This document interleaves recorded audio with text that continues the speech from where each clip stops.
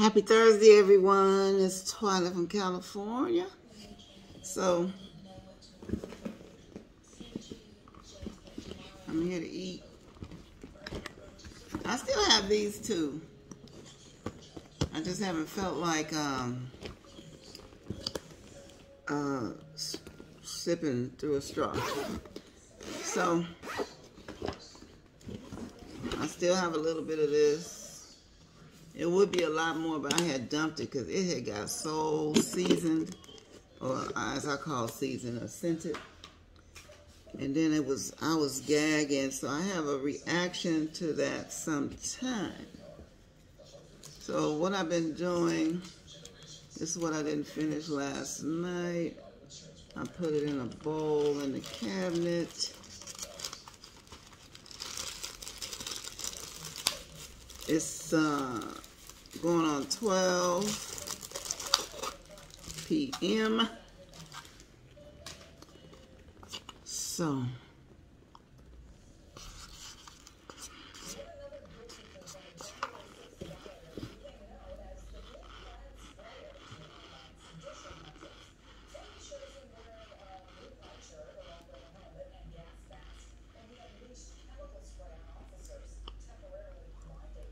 Mmm. It smells good.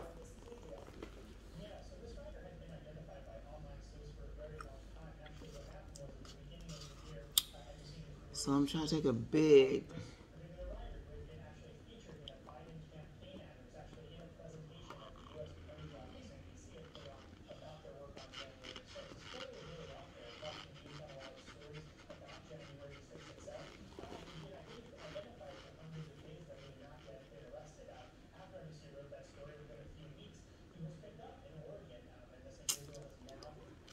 Mm. So,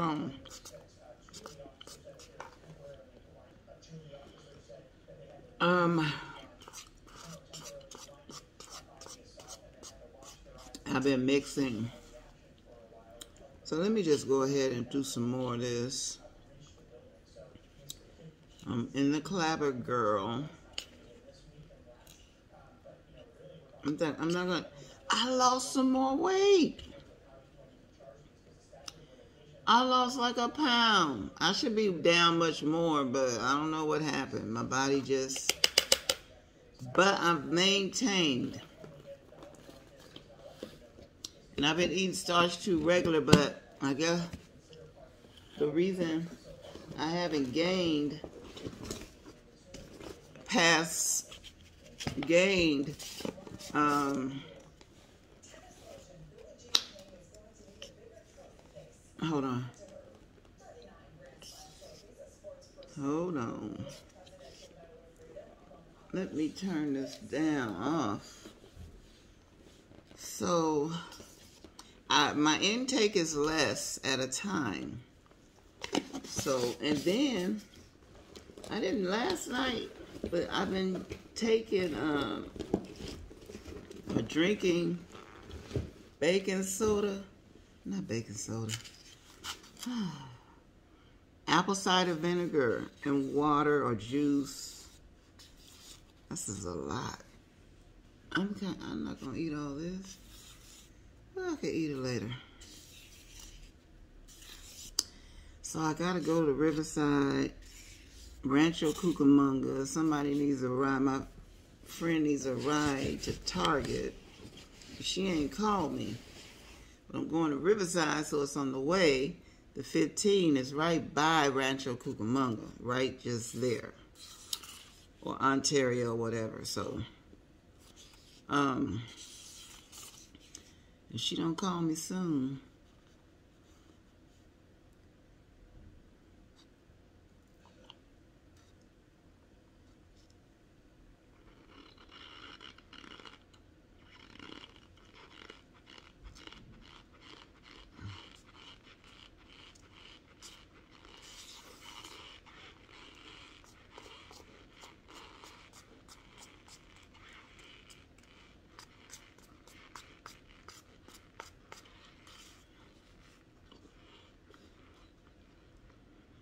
Mm.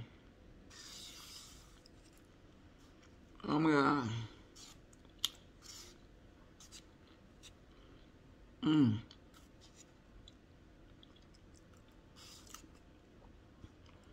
Then after I go to Riverside, I need to stop in Eastvale to pay my car note and then I need to pick up some cornstarch. So I'm going to do a cornstarch haul today. Last time I bought cornstarch, it was like $14. That's a lot of money. Mm-mm. Like two ninety nine, three oh nine. Yeah, that's three six nine. And you buy something else. I bought three boxes of starch, so that's nine. I'm on the uh, I'm on recording, so that adds up.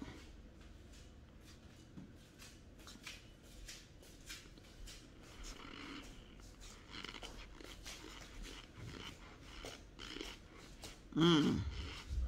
Mm, mm. Mm.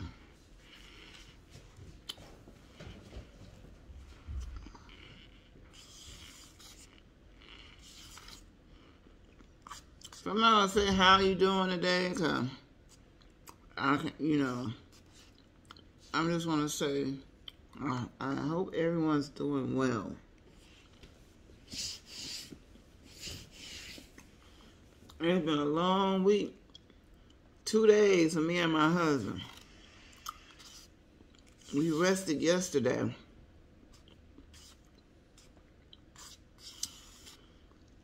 All I gotta say is sometimes helping people is more than a notion. And sometimes not worth the trouble. Mm-mm trying to help trying to help somebody get um get some money a lawsuit they suing and then they gonna have the nerve to tell he my he had the nerve to tell my I'm trying to get this money and it's gonna help the family and we could be millionaires and I'm, my husband was like and, and, and, and people in the family they don't this I said I told my husband tell him to speak for himself Cause he started just going off. You know how people good get on they like they say people get they own one. He got on one. Yeah, people can't take a vacation. People can't do this. People can't do that. And I'm like, what in the world is he looking at? Cause I know I don't look poor. I ain't nothing. I ain't poor. Poor. I ain't rich, but I ain't poor. Like uh, and I was like, wait a minute, is he insulting? So uh, I told my husband, you better tell him. And my husband said, wait a minute, dude, I work hard. I've saved money. I ain't broke. I can go where I want to go, do what I want to do, eat what I want to eat, wear what I want to wear. You know, people are saying, because you know, you ain't a bragger. People want to, uh-uh. I don't brag. I don't, I don't just say. But I, I can take a vacation right now if I want to. Then I can come back and go take another one and another one. I, I mean, I just had to tell him to tell him, you need to tell him because something wrong with him.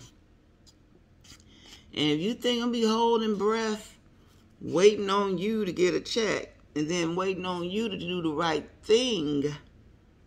I just tried to help you doing the right thing, but I'm not going to wait for you to do the right. I'm living my life. That's why I tell live your life. I have a friend. Well, not really a friend. A lady I met in Vegas. We stayed in touch. She went back to Chicago. I came back to California. Vegas wasn't a thing, but she was like a gambler or whatever. Long story short, she ended up, her sister died, and she was cleaning out her sister's house. Her sister never told her that she had two policies. One was 300,000, one was 400,000. And my husband would always say, wow, you would think, cause you know, you know, you think people would be like you. So my husband said, wow, Twilight, she never asked, offer you nothing. She never said this or said that. And I was like, nope. And um, I wasn't worried about it. Now, this woman had over $400,000 in 2015, back when the economy was just kind of getting back together. You could get a house, even in California, you can get a house for a hundred and some thousand. Vegas, you could get a house for a little over a hundred thousand. Nice house. I thought this woman would buy her a house She's an older, older woman too. She's much older than me. She could be my mom. She didn't buy no house. She didn't do nothing. She just gambled that money and now it's gone. In the meantime, I wasn't worried about what she had. I was doing me. We, as long as we did right by our money. Now, okay, so I don't worry about people and what they got. And I'm happy for them too.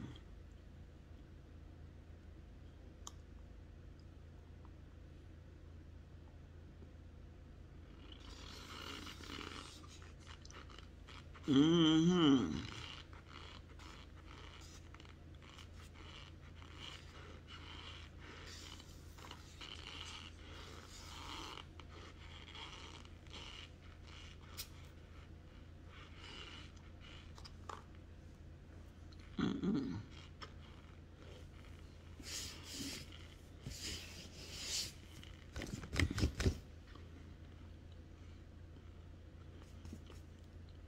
So, um,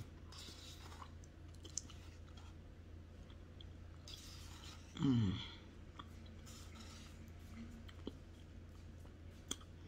yeah, I'm get this money. You know, get this 15 You think I'm sitting around waiting on him to get $15 million to be happy? You don't need a lot of money to be happy. What you need to do is save your money. Especially if it's coming from a source that's easy and you don't know nothing about. Like with this YouTube stuff. Anybody that don't made money on YouTube, you getting gang of commercials, getting checks, checks, checks, checks, checks. That money, more than half of it need to go in the bank. I mean, people get mad when you tell them, but hey, they, they won't be mad when they don't end up broke. Save money. You working hard, save money. And and, and I know me personally, and uh, you just have to prove. You don't have nothing to prove to nobody. Uh-uh. You going to an event. Oh, I got to go get a new dress. No, you don't. You got 15,000 new dresses in, in the closet. And it's new to them because they ain't never seen it. If I'm going to, to this event or anything, well, what I have on is new. Because you ain't never seen it. Well, I got to be going and buying some new stuff. Oh, I'm so glad I learned some sense. Now, as I'm maturing, I ain't got a lot of stress. I don't need all that stress. Worst thing in the world is stress money stress. So anyway,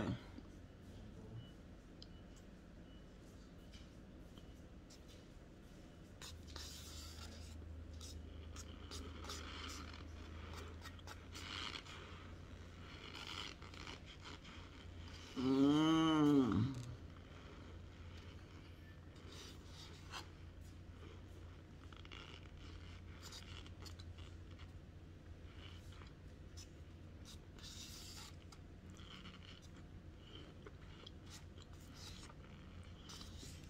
Somebody go buy a new car.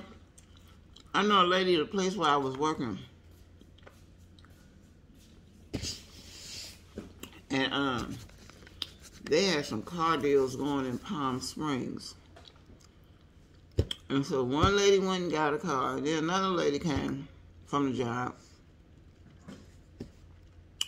She got a car. Then another lady got a car. And then Joyce, who had a very nice 2000 something Toyota Camry was very nice. Her note was 200 and something a month. This lady was in her 50s. Okay? She decided I she wanted a new car. Oh, it's 90,000 miles on my Camry. But 90,000 miles is nothing on a Toyota. She decided to go get her another car when she was already paying for a Toyota. Okay, that lady came, got her a new car, a Kia Sportage. So she went from an economy car to a, a truck. All right, Vice President Kamala. So then she went and got her a truck. So her car note went from 237 a month, probably just a little insurance payment after that, to 500 and something a month. Then she decided to retire because the company sold and she didn't want to learn the new computer system. So now she was struggling to pay this high car note along with her bills. Do you know that to this day, this, that lady is homeless? Trying to keep up with the Joneses. And I told her, I said, why are you retiring? You're in great shape. You get around really well. You don't have a husband. You should just not retire till you pay your car off. Save up some money. She didn't listen. So I have looked at, look at people. Check out the lives of people. So I learned a big lesson. That lady's in her late 70s now. And um, I hear she's in a a shelter with a dog. That was another thing. She refused to give up her dog. Okay, hear me out. Yeah, you can love a dog and a cat or whatever, but if it's costing you a lot of money, you can't afford it. So there she is with the dog, but it ain't even the same dog she had. She got a new dog. So I guess she's in a shelter where they accept the dog. So I'm learned looking at people and checking out people. Uh-uh. Spend your money wise. You going out to dinner, you ain't got to order an appetizer, a, a entree, and a dessert, and then leave the waiter a dollar. Oh my gosh, people. You take the kids out to dinner. You tell the kids what they're gonna get. We out to dinner. You're not gonna order all everything. It's just if you're not rich,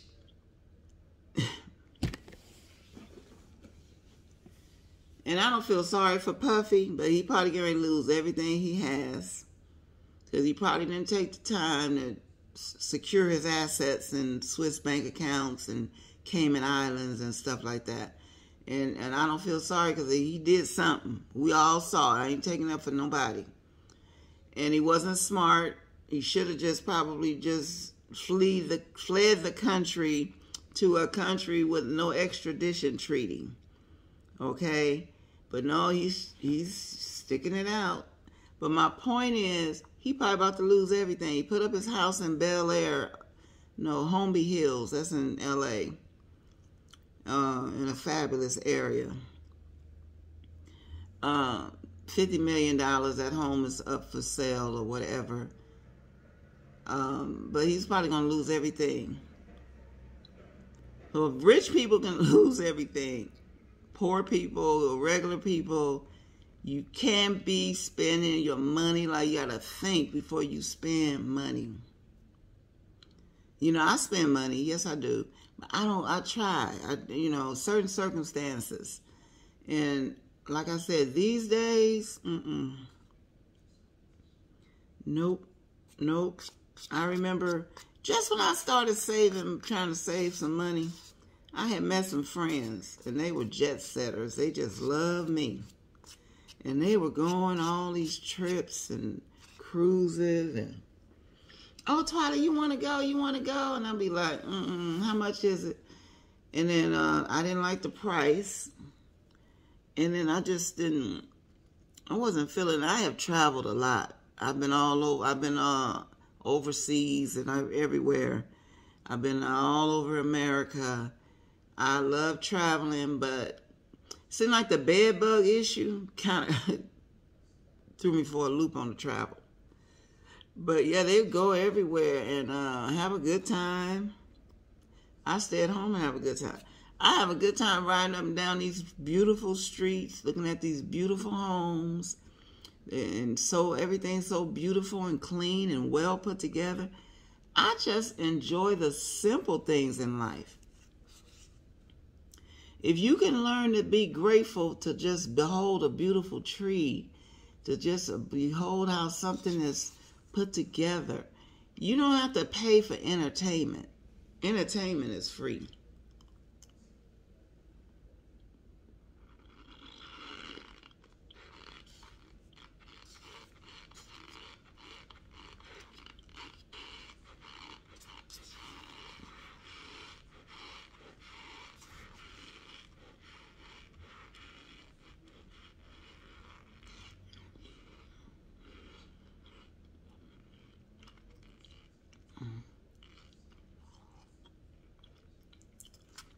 Right, people going to these concerts, you know, paying all this money.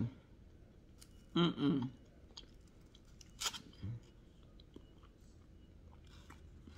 My husband loved boxing. He used to be in the boxing world.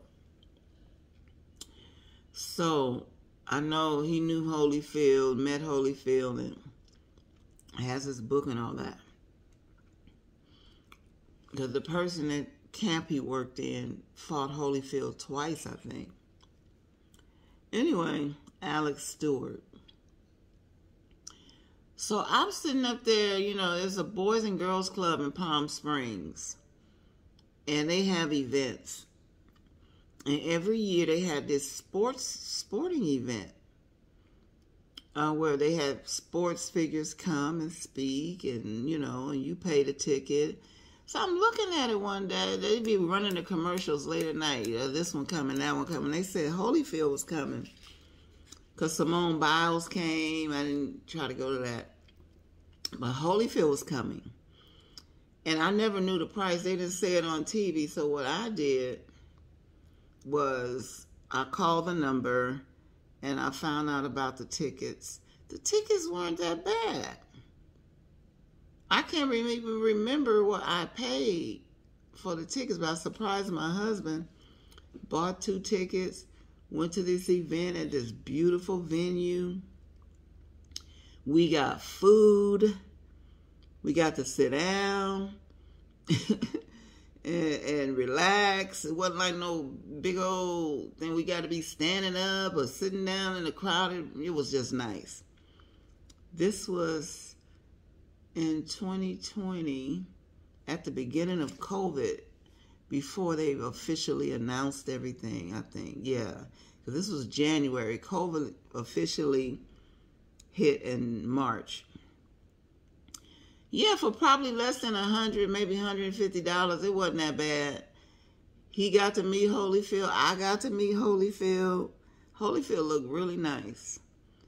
And then he got um, Holyfield, remember his friend, and he even remembered him. He signed his book.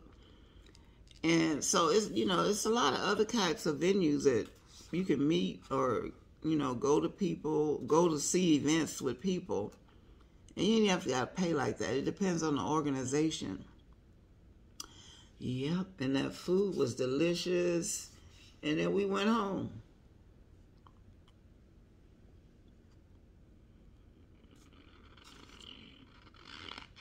Mmm.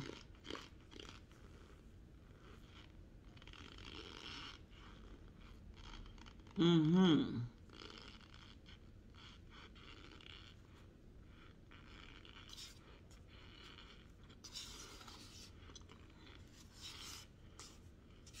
So yeah.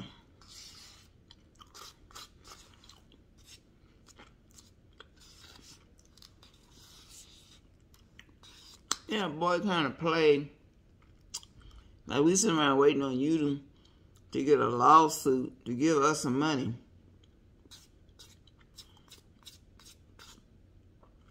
Uh-uh. Not this girl. And, uh, no, no, no, no, no. I said, you better let him know. And we had to spend money for my husband to go and sit in a deposition. We went the first day, it was the wrong day. So that was gas and money wasted for food, but I got to eat some food that I like. Like, I love Sky's Tacos in LA. A beautiful black lady. She's um, just she started the business when she was older, you know, like maybe in her 40s and up. But she has a very successful taco business. And one taco equals two. They give you two shells. So I, I don't like eating a lot of stuff at once. So what I did, I just took one of the shells and dumped half of that meat and stuff in there. And I had my two tacos. And then I really had two and a half. I gave my husband, husband one. I saved him one. and then, uh, so we wasn't in LA that long. Um, and then I had a peach cobbler to deliver to somebody I had made. So I went over there and did that. Then I had to get back downtown and get him. But then officially he had to go back the next day, 17th. That's more gas. Okay, gas. And then I bought more food because I went and had breakfast to kind of, you know, kill time. Went to CJ's and uh, they too high now. But anyway, I ate there. And then uh, after that, I went and got my husband some um, oxtails. He loves oxtails at the Jamaican restaurant. So I did that, drove around, and finally he called. You know, you doing people a favor putting gas in your car to help them. They got a nerve. Mm-mm didn't want to talk smack. You didn't say this. You didn't say that. You should have said the other. And, you know, I'm trying to get money to make the family. And I, I ain't waiting on you. I've learned to depend on God. All right, so anyway, I'm going to let you all go. I hope all of you all are having a very nice, um, had a very nice week thus far. Mm-hmm.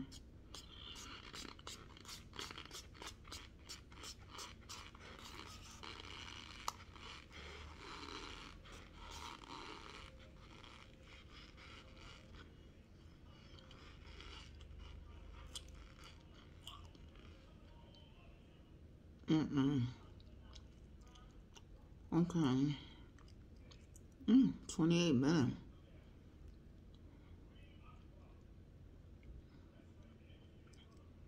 I was so tired yesterday.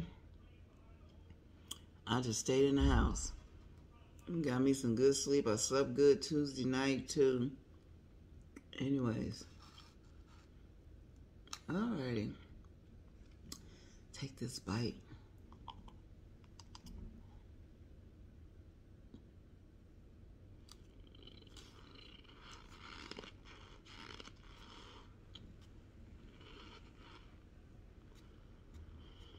Mmm.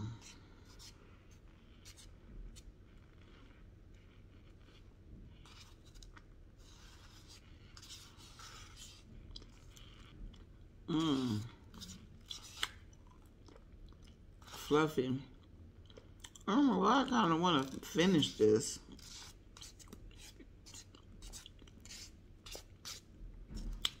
Ah. Ooh. I'll take one more bite.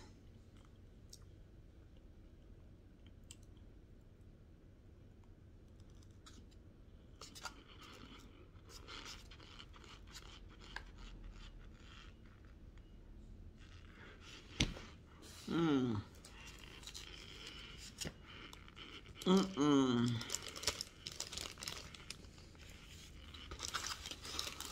So the of the story is be wise with money. Because you can get it and it can get away. So you want to be wise.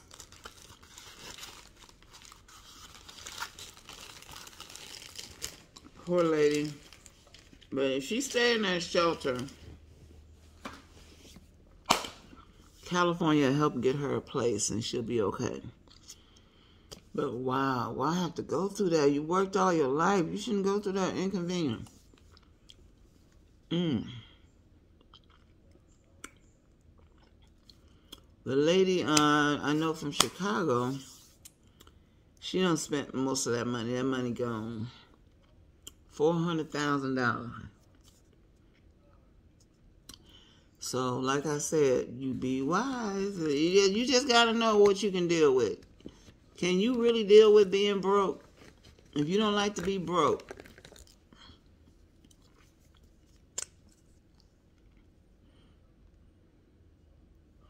if you don't like to be broke,